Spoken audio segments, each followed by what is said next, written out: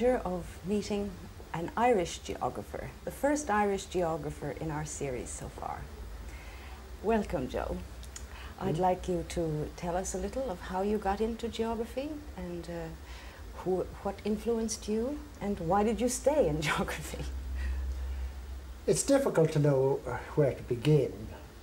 I think it's well to remember that when I was young and at school in Ireland, geography was simply not taught by qualified geographers. Mm -hmm. There were historians, economists, anybody who could turn their hand at geography. Nevertheless, when I was at school, the uh, man who taught me geography, though he was a historian, certainly had a geographical sense. Mm. And I think some of the seeds were sown there. But it really goes back farther than that.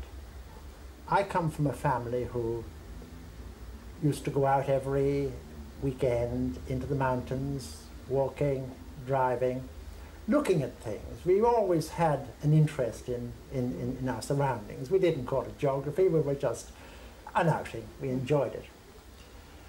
And when I was 12 years old, I was asked whether I would join the Dublin Naturalist Field Club. That field club had been in existence since the end of the 19th century, concerned mainly with botany, geology, entomology, and so on. And it was a club composed of very elderly people, mm -hmm. very little spark to it. and Praeger, Lloyd Praeger, and Anthony Farrington, and I think some others, decided they would try to uh, make it a little bit more lively. So they produced this junior section. Wow. And I was one of the first junior members. So now I had a, a different uh, approach. We went out into the countryside. But now we were discussing what we saw from a scientific background. Mm -hmm. And of course, Farrington was the person who really inspired me because he would look at a section and say, golly, what is this? And we discuss it, and I got totally fascinated by this explanation of the landscape. It was mainly on the physical side. Mm. At the same time, I used to go out with the botanists and the ornithologists, so I got to know my birds, though I've forgotten a lot about birds now. I also learned the names of my plants, which, incidentally, though I did some botany uh, in college, had nothing to do with naming plants, it was all physiology. So at an early stage, in my early teens, I was looking at the landscape. I was going out with people like Praeger mm. and Farrington, uh, Mason, and other people who uh, really inspired one. Now, I looked on this all as a recreation. I just thoroughly enjoyed it. So really, I began in the field. I didn't begin on any theoretic, theoretical background or anything like that in the field. And I never thought of it uh, as being any sort of formal education. And indeed, my plans were to become an accountant. My mother wanted me to become a, uh, a bank clerk because she thought that was a nice, safe job with a pension. that was the sort of things that were considered important in those days. But anyway, this was a sort of compromise. I, I would go into accountancy. So when I entered Trinity, I intended to do a degree in commerce. Which year was this now? That was 1938, just before the war. It's a long time, a long time ago.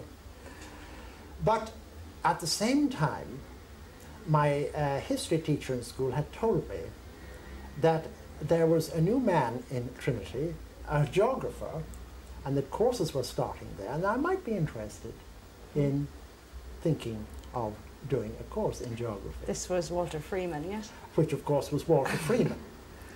Um, I, of course, knew nothing about him then, but mm. this certainly was something that interested me, and yet, having organized my ideas into something different, it was a little bit uh, hard for me to change. So what I did was, in the first year, I attended lectures within the Faculty of Natural Science, which was where geography was located, and also in the Department of Commerce. Mm. At the end of that year, I was given an ultimatum from both faculties because, of course, the lectures clashed. Yes. The- you just couldn't. I, I wasn't being single minded enough.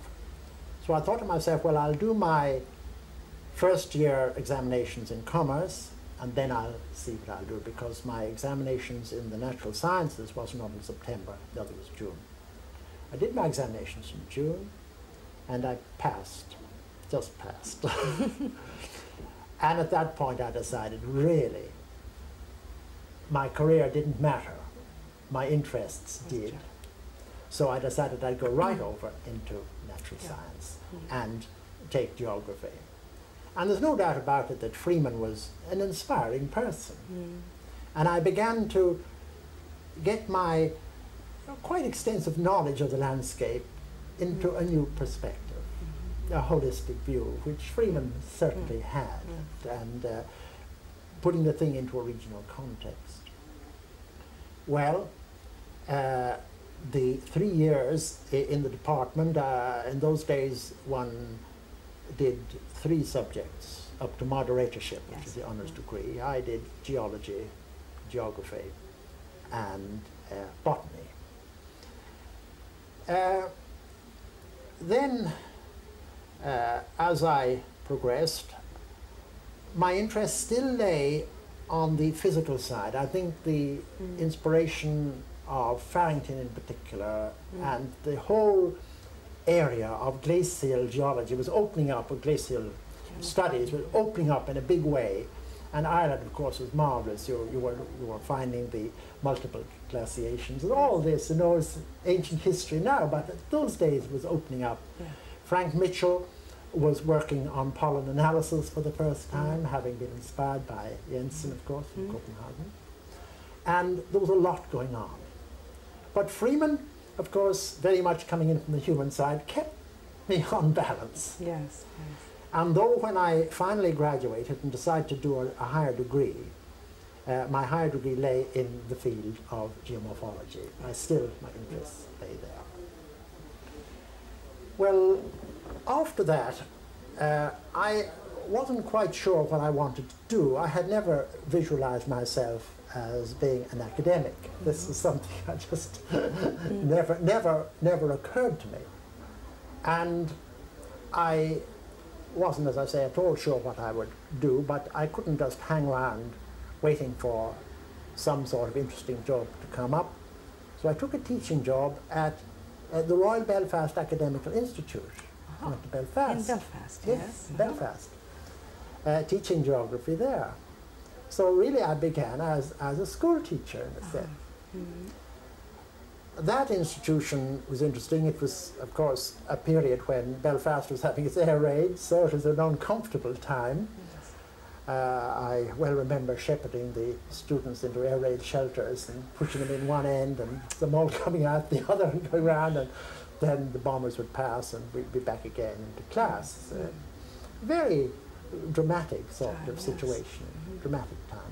But I enjoyed my time in Belfast. I found people extraordinarily warm-hearted. They were a nice community to work in. And, Mm. and uh, then at the end of that, uh, Freeman asked me whether I'd like to come back to Dublin as his assistant. And I couldn't resist that, though the pay was, was minuscule. And, Mm. uh, but the opportunities seemed to be there, and I'd really got a taste Yes. for And Trinity, without any question, was the the geography in Ireland at that time. It was the geography of Ireland at that that, time. yes. That's correct. And it, it, you see, uh, I was the first graduate in geography through through that system. With uh, well, with, there were two others in the same year, so we were still a very small band. Yes, yes. And uh, when I got back to Trinity, Freeman, of course, was actively preparing to write his book on Ireland and Yes. uh, was systematically covering Mm. the country. And I accompanied him on many of our trips. We would put our bikes on a train, go to some point, uh, take the bicycles off, and simply cycle around the countryside. Freeman was a great man for note taking, Yes. everything went down. And that was a great lesson to me. Mm. Um, I tend to think, well, I'll remember this. This is Mm. impressive. I, I can't possibly forget this particular scene or this particular Mm. thing. But you do. Yes. Freeman would put everything, even the most trivial thing down. And his notebooks are fascinating. Yes, I could well imagine. Yes. Um, so there was that. But there was also another aspect which, to me, uh, was important, and that was that the Geographical Society of Ireland began to have its field trips. Uh-huh. They were founded when? Well, now, they were founded, uh, I think the date, it's pre-war, I think around about 1932, Uh-huh. but I'm not sure of the exact date. Again, Praeger was important in this. Mm. Freeman, of course, was the Mm. person who really helped to Got put it it on, on, yes, on, yes. on, on a, a Mm. proper Yes. uh, way. But the first field trip, which was to Virginia in County Cavan, um, was a, one before Freeman took a hand in things. And it was a group of people interested in their own things. Um, some interested in plants, some interested in antiquities, Mm. Farrington interested in the glaciology. And in the very first publication of Irish geography, which was called the Geographical Bulletin, the Bulletin of Ireland then, um, they published the results in a set of totally disparate little articles. In other words, what geography just isn't. Yes. And this really stirred up Walter Freeman. Yes. And he was highly critical of this, a little bit unfairly, I think, because I feel that they were doing their best and they hadn't been put on, on, on, on, on the right track. Mm.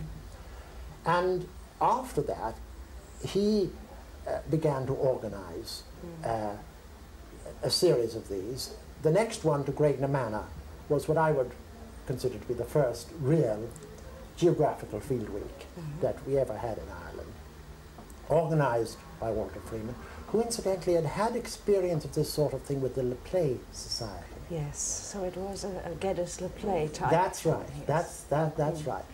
Mm. And we, again, all tended to follow our own interests, but Greg Manor was absolutely full of interest, and we all began to realize how fascinating the Irish landscape is if you begin to dig a little bit beneath it. There's just a- fund of material there.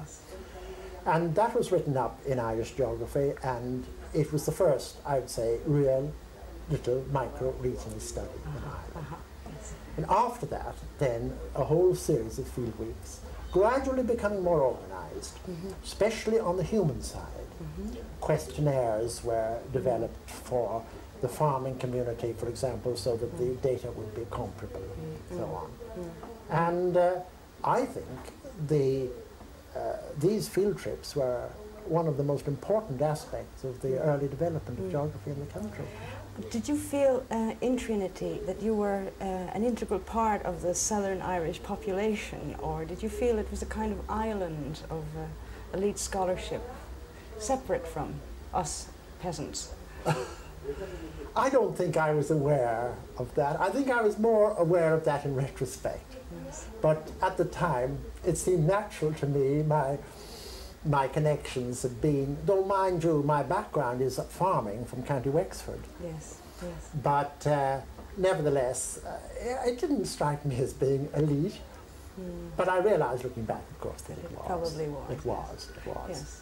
But to some extent, for me, that was uh, that was offset by the fact that the Geographical Society of Ireland Mm. In those days was certainly not Trinity at all. Freeman, yes, but the great majority, the, the, the, the, committee and so on, were ordinary citizens of Dublin, a good cross section. Not school teachers either one. There were some school teachers, Teachers. yes, yes, and from some of the Catholic schools it was important because Yeah. they drawn in, in other words, Mm. they mightn't be. And exactly the same in the Naturalist Field Club. Again, Mm. a cross section there, primarily of non-academic people. Mm-hmm. And I think that one of the sad things in a way about the Geographical Society of Ireland was that it was taken over by the academics, Uh-huh. Yes. Yes. as it is now. Yes. It's run by academics, and the ordinary man in the street is Mm. not attracted in the way Mm. he was or she was Mm. in days gone by. Mm. Mm. But geography at Trinity was never, uh, in a way, um, involved in rebellion or revolution or radical movements. It was quite status quo, wasn't it? It was very much so, yes, very much Mm. so. And I suppose the real development didn't occur really until the 1950s Uh-huh.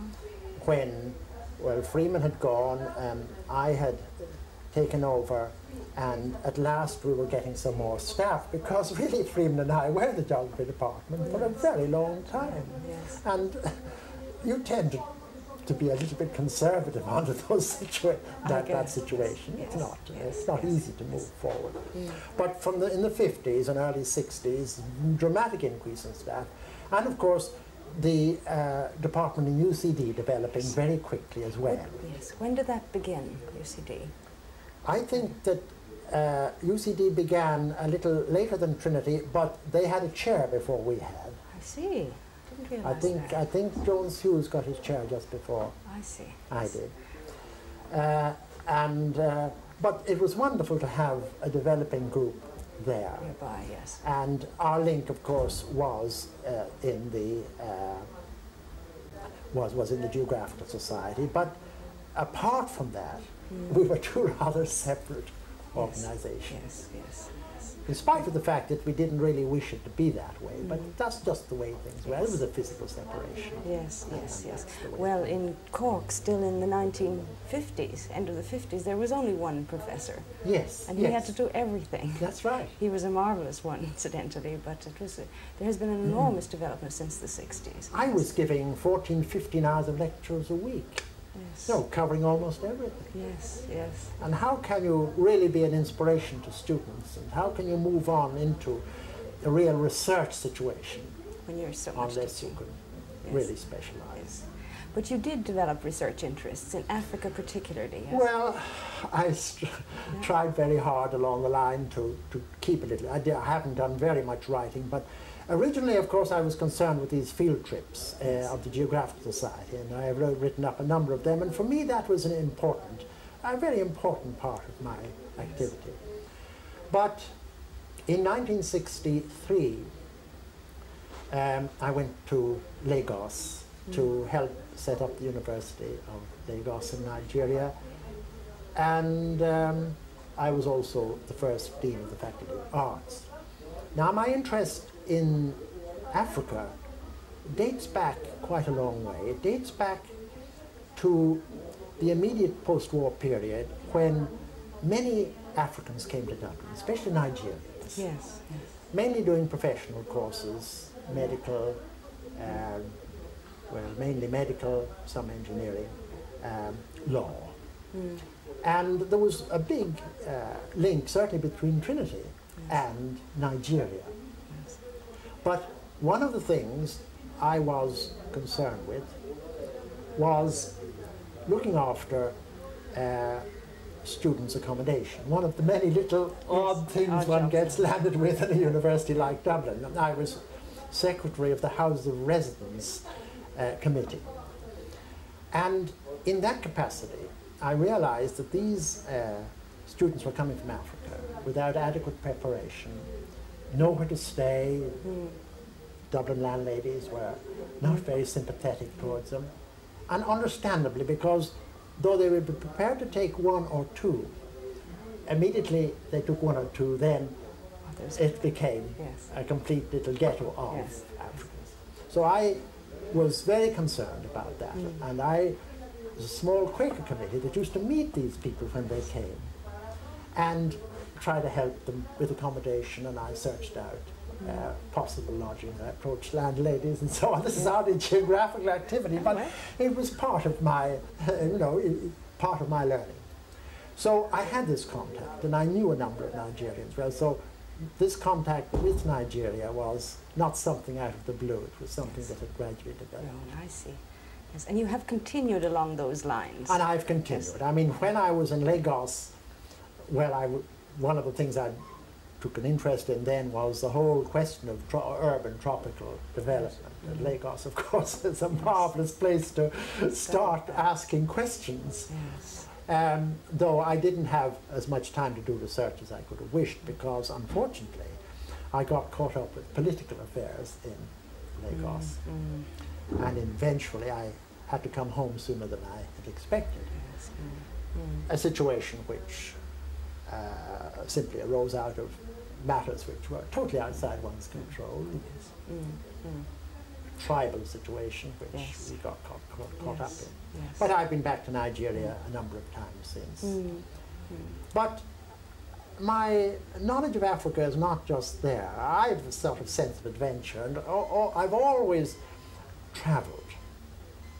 And my travelling, for example, I've uh, travelled down Nile. I set out from Uganda and simply set out and crossed into Sudan, though I hadn't any permission, was arrested there, but let go and continue. Came to the Sudd swamps, Egypt, Alexandria, then to Greece, then to Istanbul, home by the old Orient Express in the days when it was the Orient Express.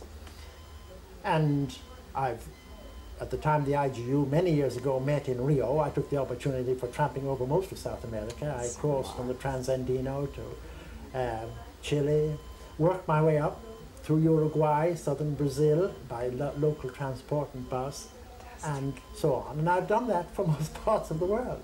Do fe- enjoyed it. That's, I think it's fun.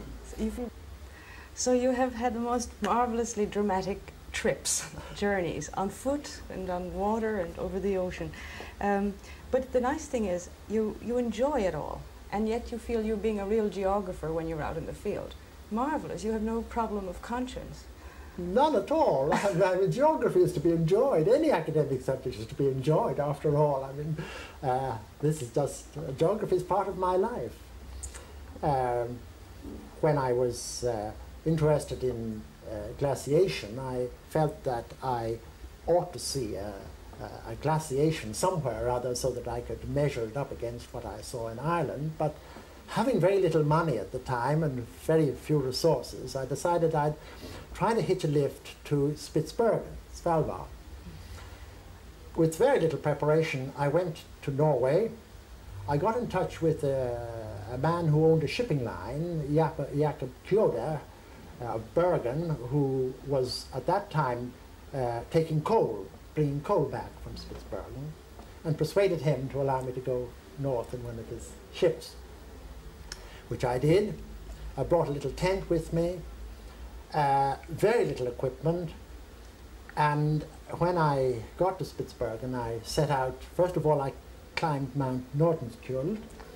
I knew there was an old Swedish Met station on the top, Yes. and that I could get shelter in it. But when I got there, the snow was above the level of the station. It had been closed during the war. and- Uh-huh. But I broke open the roof and went inside and got some shelter. Beautiful instruments and everything, all there had been abandoned when war broke out. Right.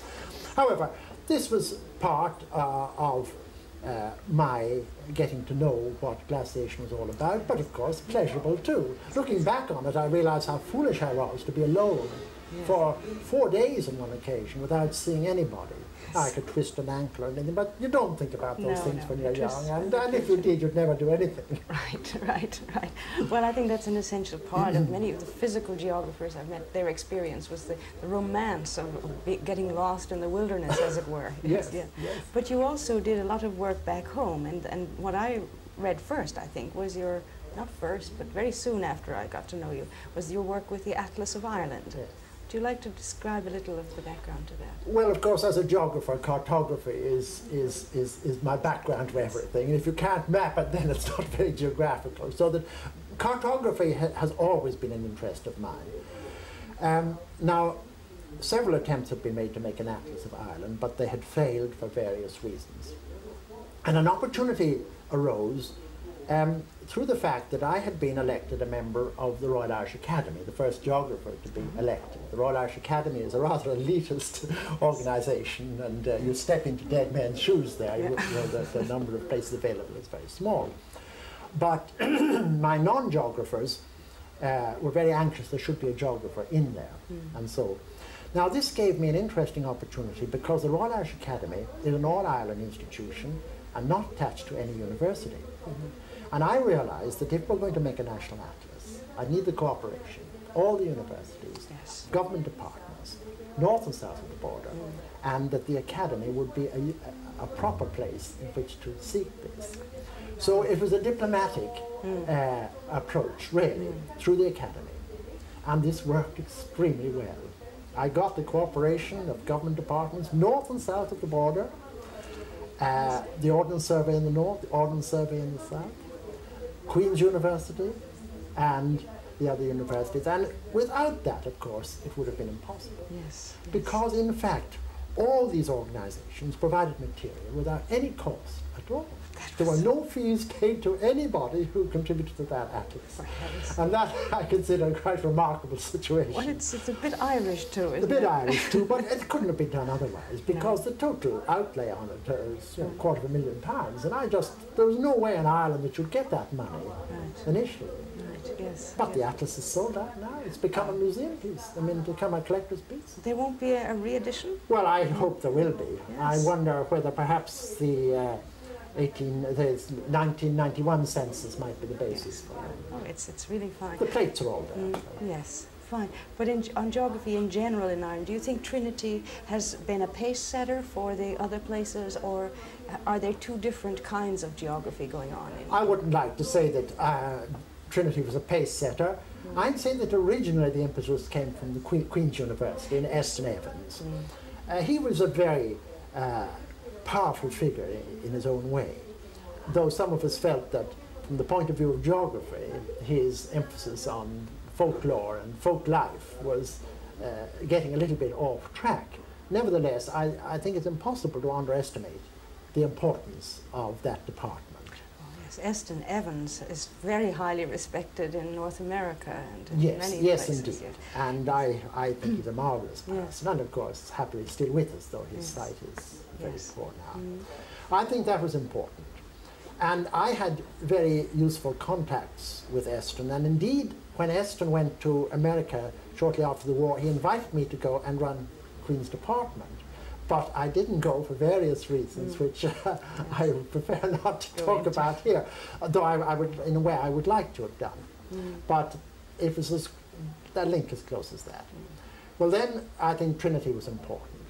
But I wouldn't like to say that we're a trendsetter now. I think UCD, roughly the same staff, Mm. um, has uh, really taken on quite a number of the functions that Trinity did. At one time, Trinity uh, edited Irish Geography, edited the Journal of the Teachers Association, uh, you know, had Mm.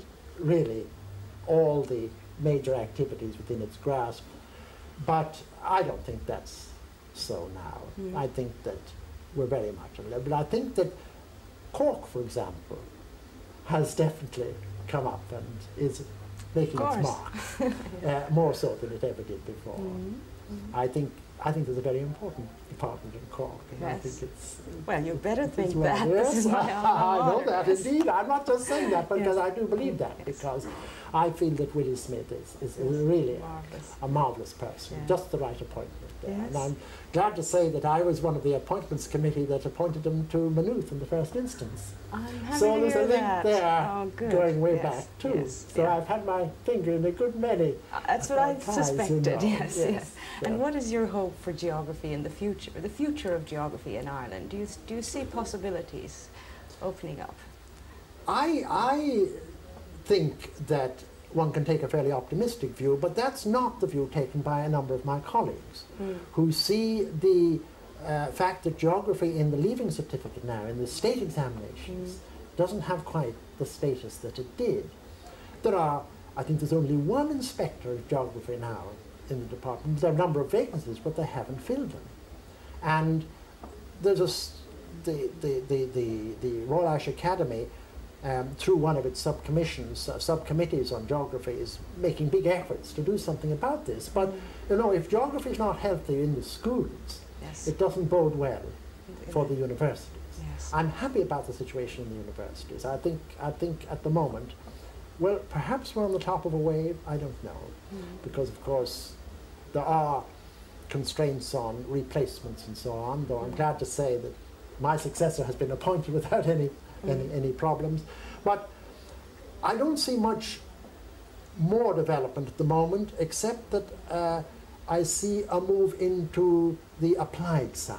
There's an awareness among geographers that Mm. unless they do more applied geography, their relevance is not Mm. to be seen. Mm. And certainly there has been more of that Mhm. recently. Mhm. And I would see that is the way geography is going to go. Mhm. Um, though I hope there always remain the academics who will study just for um, study's sake.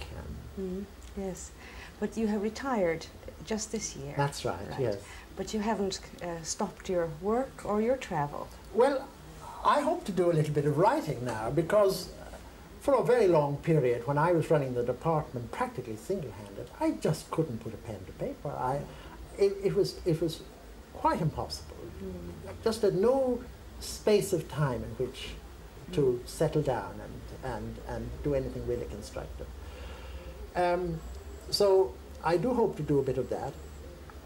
I also am involved in development agencies, Yes. both the uh, Freedom from Hunger Council, Gorta, and also the Catholic Bishops Fund for Development, Trócaire, Mhm. of which I'm on the executive committee and on the projects committee. And within Trócaire, I'm interested in uh, Central and South America Yes. and will be visiting there shortly. Mhm. For Gorta, I'm mainly uh, interested in Southeast Asia. And this year I've already been to India in January, February, looking at uh, agricultural projects in that part of the world. So, oh, I see no end to my travel and my enjoyment of life, which is, I think, the important thing. Well, that's a good note on which to bring this interview to a close. Joe, you've given me a lot of inspiration, and I'm certainly many generations of students that have gone through Trinity since you first came there. Thank you ever so much, and bon chance. Thank you very much indeed.